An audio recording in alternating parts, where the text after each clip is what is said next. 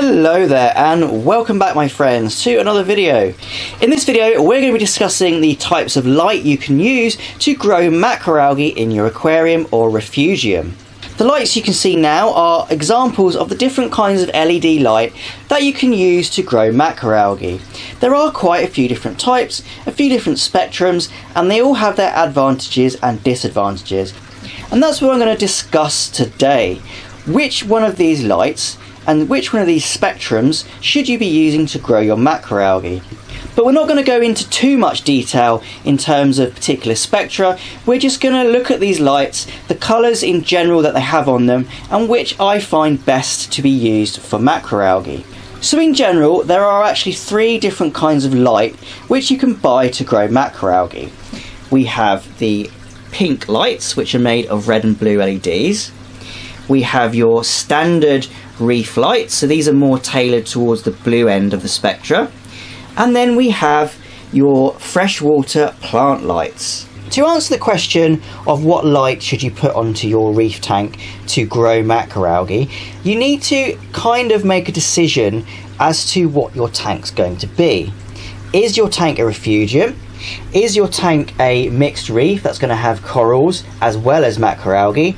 Or is your tank solely going to be a planted marine tank with lots of macroalgae and maybe a few corals? And the reason you need to decide this is because all of these lights will actually grow macroalgae. They'll grow macroalgae at different rates and they'll grow different colours of macroalgae at different speeds. And that's because of the specific spectrums that different colours of macroalgae require. In general, Green macroalgae prefer 6500K lighting, so that's normal uh, freshwater kind of sunlight spectrum that you'd put on a freshwater planted tank. In general, green macroalgae prefer that, and that's because of the depth which green macroalgae live in the wild. And in general, red macroalgae live a little bit deeper than green macros and prefer the blue end of the spectrum. Red macroalgae prefer bluer light and green macroalgae prefer more of a daylight spectrum. So going back to my question of what tank you're running, it does depend which tank you're running because if you're doing a refugium, you're probably mostly concerned about the speed at which your algae is growing and it will probably be something like Chaeto or Caulerpa. So in the case of a refugium where you're not looking at the tank, you're just putting algae in there to grow, to suck out nitrates and phosphates, then your best bet would be to go for one of these red and blue LEDs because this colour of light will hit the chlorophylls in green algae perfectly. Normally if you get a decent quality one of these lights, they're specifically tailored for growing freshwater plants or terrestrial plants and this is what you're going to be going for. However, if you're going for the other two types of tank, where you have macroalgae in your display tank, or indeed your display tank is purely macroalgae, then you're not going to want pink light because you're not going to be able to appreciate your display. So pink light would be in this situation completely out of the question. And that leaves us with the other two options of a reef light or a freshwater planted light. So which one of these do you choose? Well, if you've got a mainly coral-based system and you just want some few macroalgae in there just as a bit of a sprucer, then I'd go for the full spectrum reef light. Full spectrum is the important keyword here because as well as having lots of blue in this LED, it also has um, some 6500K, it also has some red LEDs, and it will probably hit some other spectrums within it. What you don't want is purely actinic blue going up to something like 15 to 20k because you're not going to be hitting enough of the green and red spectrum to grow your macroalgae properly. And finally, in the other situation where you're doing a completely planted saltwater tank, I would highly recommend you opt for the freshwater style LEDs. So these are ones which are full spectrum, but they're less blue. They're more tailored towards the freshwater spectrum of 6500K, although they will have higher peaks and lower peaks than that. And the reason I go for these personally is because they cover all the bases.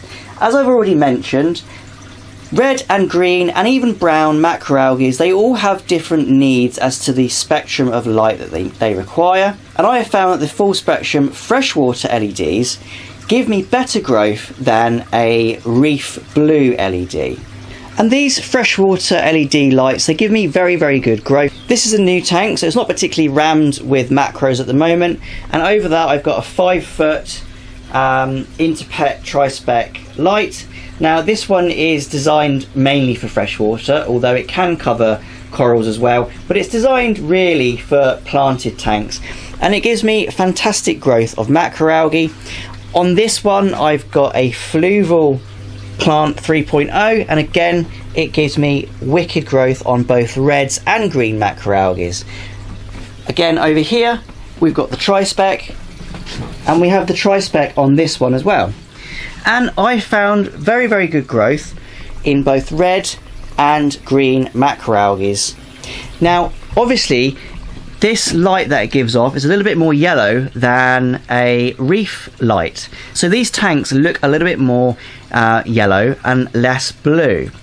Now if you're going to be putting corals in here you're not going to be getting the fluorescence that you normally get under a blue light so you might not like the look of the light that the freshwater spectrum gives you and that's why I said if you're going to be having corals you're probably better off using the reef spectrum LEDs. Another thing I'd like to just discuss a little bit as well is how much and how intense should your lighting be. So in terms of growing macroalgae, I found that a photo period around 10 to 14 hours uh, works really well and that works for both reds and greens However, if you're growing just Caulerpas or Chaeto, you can actually leave your light on for 24 hours and it's fine. There is such a thing as too much light when it comes to algae, and I found that red macroalgae really do prefer a dimmer light than a really, really bright light, and they like to be a little bit deeper in the tank than uh, the green macroalgae do. In fact, if you have too much light on a red macroalgae, it will pale out a little bit. This Botryocladia is quite deep. It's probably around three feet away from the LED. And this Botryocladia is pretty much right next to the LED, and you can see the colour difference. One is a lot lighter than the other, and that's because this one's being a bit overexposed by this LED. It's probably about four or five inches away, and like I said, this one is about three feet. So really don't want too much light when it comes to your red macros. So I hope this video hasn't been too boring or too technical. It's a really hard subject to actually make an interesting video on, but it's one that I wanted to do. If you've liked this video, please leave a like and subscribe to my channel if you haven't subscribed already. Once again, thanks for watching and happy fish keeping.